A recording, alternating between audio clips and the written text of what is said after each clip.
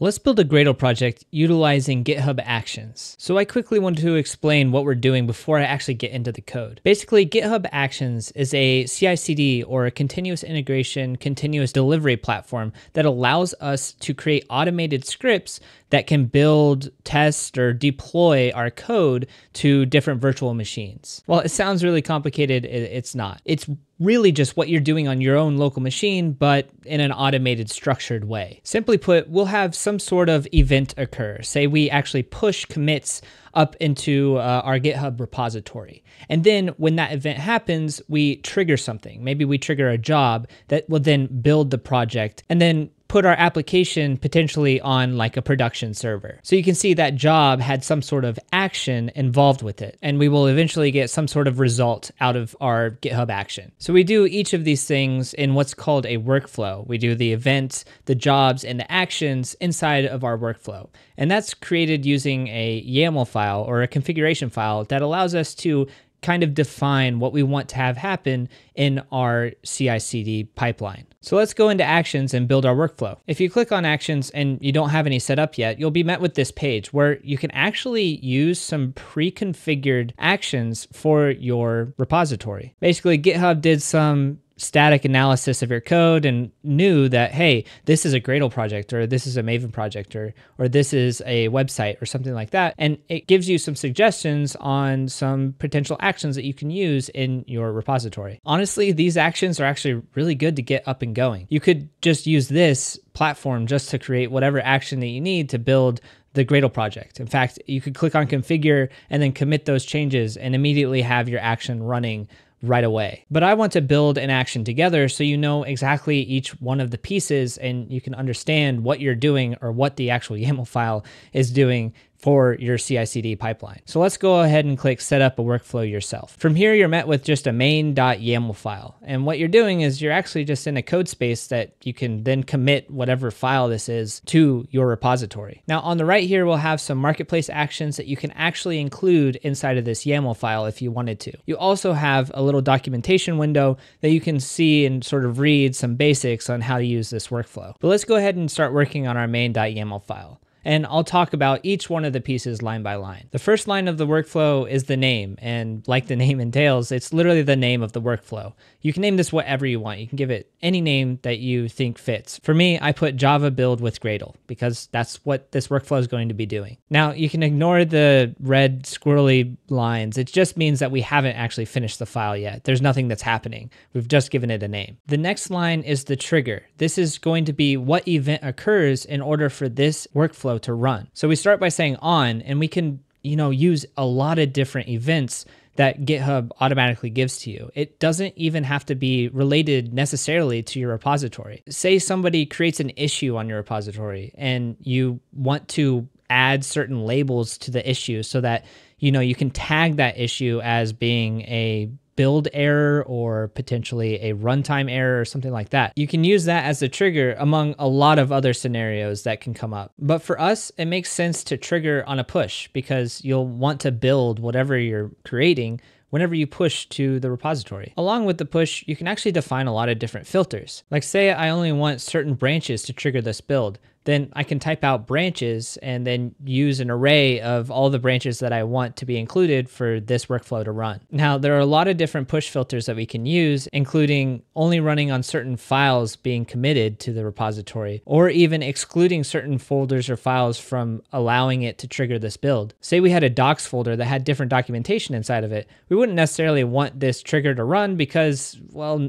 I mean, nothing has changed within the build. Maybe we only want to filter on Java files because those might be the things that need to be rebuilt once we have any changes in them. But now let's just keep it simple and I'll just do it on any push to the repository. The next line are jobs, and this will be what is actually happening in this workflow. Basically, we can have any number of these. Maybe we have a build step that builds the actual Gradle project, and then maybe we upload the dependencies, like cache them, so that the next time this runs, we don't have to go and grab all of the dependencies again in order to build again. This is the meat of the workflow. This will be the actual stuff that we're doing. So now any lines at this tab level will be the actual names of the jobs that we're running. So here, this next line, I just named it build because it's the build job. The next line is runs on, and this will be the virtual machine that we're actually running the build on. Now I've selected Ubuntu latest here, but actually there are a number of different virtual machines that we could use. This table shows all of the available virtual machines that we can use for our runner. And when I say the word runner, what I'm talking about is the job that's running. So what is actually running in this scenario? Basically, we're running Ubuntu to then build something. So that's our runner. So you can see on this table that it comes with some predetermined configuration. Now these are the public runners and these are the standard ones that you can use anytime on GitHub but you could actually have a self-hosted one. Uh, say you want to run on something else like Red Hat or, or something else. You might have a runner established on GitHub so that you can then contact your Red Hat machine and run the build on there. For very generic applications or generic products, you can utilize these public runners, but if you need some specialized case, you might have to create a self-hosted instance of a runner and then build it an action through that. The next couple lines here are the permissions and I've set them to be able to read the repository. This means that it doesn't have any access to actually write to the repository. And we want it that way because we don't want it writing arbitrary data to our repository since all it's doing is building our application. The next line is steps and this will be the order of operations of things that are happening running on our runner, our Ubuntu machine. Now, the thing is, these standard virtual machines, they don't have anything installed on them. So you have to define what you need in order to build or do whatever you're trying to do inside of that virtual machine. What I'm doing right here is I am saying that I need this actions checkout and the version 4 of it in order to check out the repository from GitHub. This checkout is actually a standard action that comes with GitHub. They have a, a bunch of different standard actions that you can use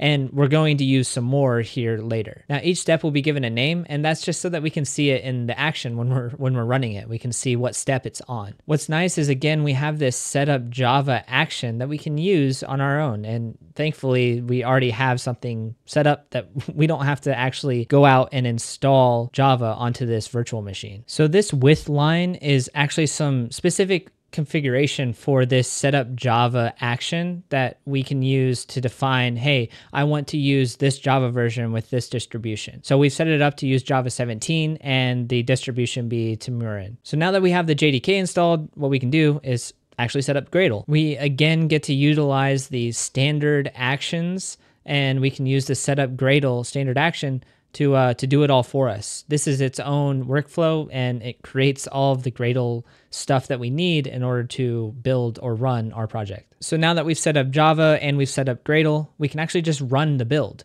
And what it's using is it's using the Gradle wrapper that's installed in my repository. That's the kind of standard way that everybody uses this. You can add your own Gradle version in here and then build off of that. But what everybody suggests is that you use the Gradle W file to build your application. So now that we have our build step, our job is done. But wait, we kind of want a little bit more functionality. Basically, there's this thing called Dependabot that is installed on every single GitHub repository. And we want to utilize that. Basically, whenever we have dependencies in our application that come from the outside, when those versions change, we want to be able to add new versions into our project. Well, in order for Dependabot to understand that it needs to update a certain dependency, what we have to do is we have to build a dependency graph and then it can utilize that graph to know, hey, this has a new version and I'm going to update it. It basically gives us automatic dependency upgrade into our repository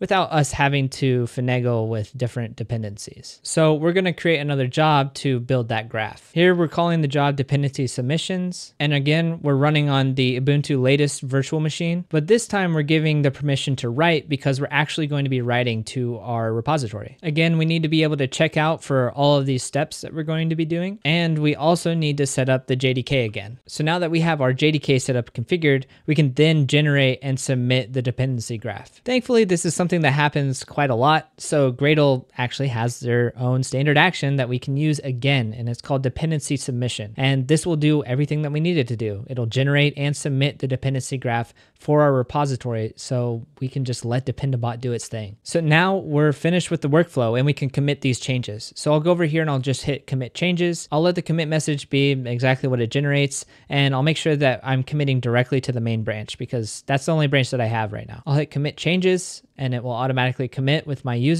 Now, if we go back to actions, we can actually see that create main.yaml has now been uploaded and it will be queued for our run. Basically, what we'll see here is we'll see the name of the commit that's causing the workflow to run and then a bit of information. So it's saying Java build with Gradle number one, because it's the first one, and then what commit caused this to get triggered, and then who triggered it, which was me. So now over here, you can see that it's queued. This is because this is a public repository. So I'm actually sharing the virtual machines with everybody else that's running virtual machines right now. So I'm in some queue, then I'll have to wait for the actual build to run. If I had my own self-hosted virtual machine, basically I wouldn't have to wait because it would just trigger right away to my virtual machine and then do everything that it needs to do. Granted, this is free for public repositories. For private repositories, you get a certain amount of minutes, and however long it takes the build to run or the workflow to run uh, will be charged to you. Basically, you get 2,000 free minutes, and anything above 2,000 minutes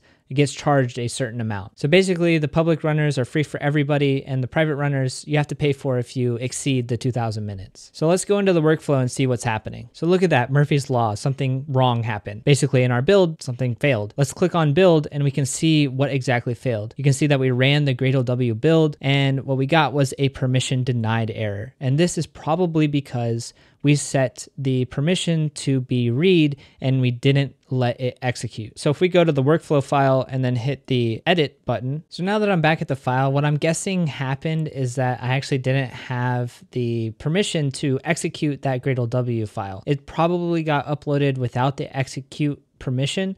So what I'm going to do is use a command called chmod to add the execute permission to the file itself right before we run it. So here you can see that I'm changing the wrapper permissions and I'm running this command chmod plus x to add the execute permission to the file. So I'll commit these changes and I'll let the commit message be auto-generated and then I'll hit commit changes. Now I'll go to actions and hopefully this one works. Okay, great. Now you can see that the build was completed and the dependency submissions was also completed. You can also see that I have a typo here. I didn't put dependency, I put dependency, whatever. So in this GitHub Actions screen, what we can do is scroll down and see some of the logs that occurred. So in the build summary, it's giving me a bit of information about what happened. I used git gradle, and this all comes from those standard actions that we used. You can see that caching was enabled, so now all the dependencies will be cached. The build dependencies will be cached. So the next time that we run this, it probably won't run as long as it did this first time. And you can scroll through this and see all of the different dependencies that were saved and a summary report of the runtime. And again, for the dependency submissions, we also get a summary for that, along with the caching that was enabled. If we want, we can go into any one of these and actually see what was executed. So you can see that we set up the job,